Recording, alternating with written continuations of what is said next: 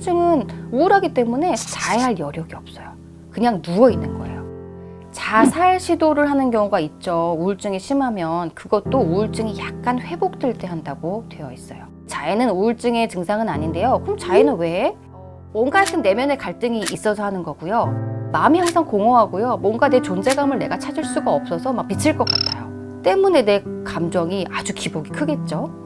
요즘 자해를 하는 친구들이 많다고 하더라고요. 특히 중고등학교 친구들이 많아서 제가 깜짝 놀랐고요.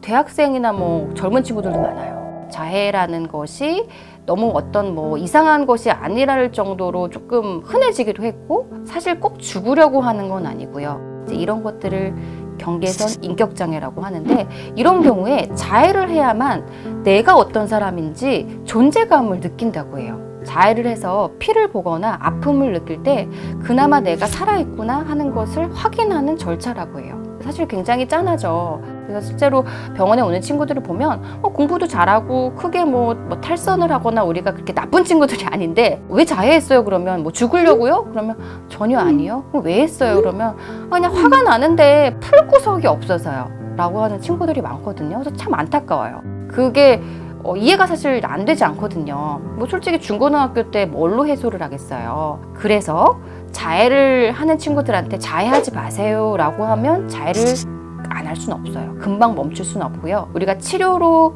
보통 권유하는 방법이 자해 수위를 낮추라고 얘기를 합니다. 예를 들어서 뭐 커터칼로 손목을 조금씩 긋는 게 매우 흔한 자해 방법인데요. 그렇게 하면 사실 상처도 남고 그래서 흉터가 남는 자해 방법을 생각해 보자. 뭐 예를 들어서 뭐 아픈 건 똑같지만 고무줄로 세게 튕겨서 뭐 허벅지를 해본다든지 아니면 꼬집는 걸로 바꿔보자.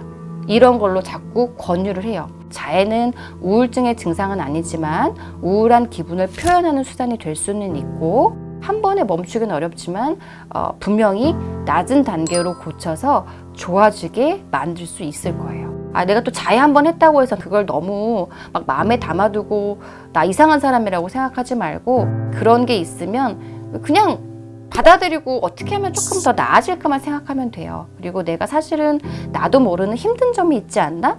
이거를 잘 캐치하면 좋겠어요.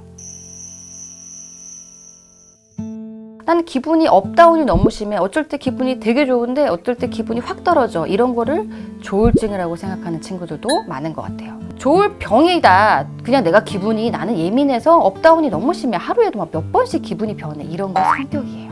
그냥 성격이라고 생각하면 돼요. 조울병, 조울병은 우울증이랑 달라요. 두 개가 완전 다른 병입니다. 조울병은 명확하게 우리가 조증 상태에 빠져야 되는데 조증 상태는 단순히 기분이 좋거나 약간 업되는 상태가 아니고요. 자신에게 손해가 될 만한 행동을 해야 돼요. 예컨대 뭐 홈쇼핑을 한다? 미친 듯이 사대요. 내가 감당할 부분이 안 되는데 막 몇천만 원씩 써요. 그리고 내가 원래는 그런 사람이 아닌데 막 화려하게 화장을 하고 옷을 막 과하게 입고 나가고 막 사람들한테 막 안 하던 행동을 해요.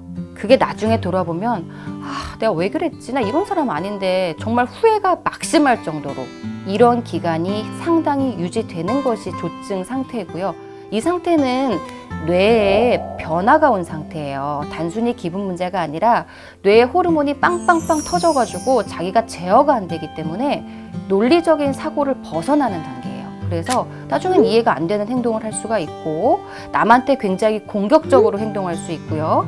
과한 자신감이 생겨서 막 일을 벌일 수 있고 근데 이게 그냥 그런 성격이 아니고 정말 명백하게 손해가 막심한 정도로 어떤 기간이 채워져야 돼요. 이런 경우를 조증 상태라고 하고 조증 상태가 명백하게 있어야지 조울병이라고 예상해 볼 수가 있어요. 치료가 정말 약물이 100% 필요해요. 뇌세포에서 호르몬이 막, 막 나오는 상태이기 때문에 확 줄여줘야 돼요. 절대로 자기가 컨트롤할 수가 없고요. 남이 도와줄 수도 없어요. 자기가 처음에는 몰라요. 가장 병원에 안 가는 환자들이 조증 상태의 조울병 환자들인데 정말 가족들이나 친구들이 힘들어요. 근데 한 번 겪고 나면 아 내가 이게 병이구나를 알게 되거든요. 무조건 치료는 약 먹어야 돼요. 약 먹으면 바로 좋아져요. 우리 여자친구들은 생리 전에 기분이 유독 변하는 친구들이 있죠. 이런 것들을 지속되면 그리고 또 심하면 생리 전 증후군이라고 하는데 사실 남자들도 알면 좋아요. 여자인 친구들이 이런 친구들이 있잖아요. 어떻게 대처하면 좋을까 고민이 많죠. 근데 이게 병이에요. 그래서 심하면 이 약을 먹는데요. 자꾸 약약해서 그렇지만 약을 일정 기간만 먹어요.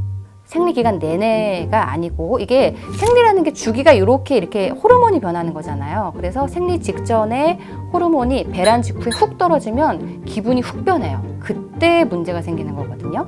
보통은 생리가 시작하면 기분이 나아지는 걸로 되어 있는데요. 그래서 생리 전에 일주일 혹은 길게는 14일 정도 항우울제를 먹으면 기분이 많이 좋아지기도 하고요.